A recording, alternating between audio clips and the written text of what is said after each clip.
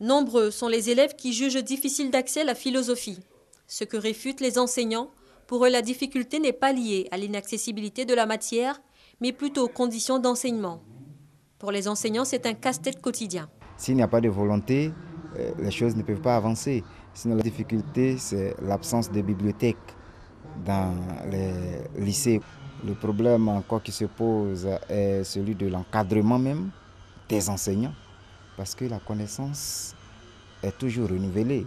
Pour améliorer leurs conditions de travail et de vie, les philosophes ont mis sur pied l'Association ivoirienne des professeurs de philosophie depuis 1980. Ces instances dirigeantes viennent d'être renouvelées. Simplice Dion, candidat unique à la présidence, a été plébiscité. Mes chantiers, principalement, ce sera repositionner la philosophie en Côte d'Ivoire sur le plan international pour que nous puissions adhérer pleinement à l'Association internationale de philosophie. Créer notre bulletin de liaison et notre revue scientifique, organiser très rapidement un grand colloque international sur philosophie et société. L'Association ivoirienne des professeurs de philosophie, qui revendique environ 5000 membres, œuvre à la vulgarisation de la philosophie et à l'amélioration de la qualité d'enseignement de cette matière en Côte d'Ivoire.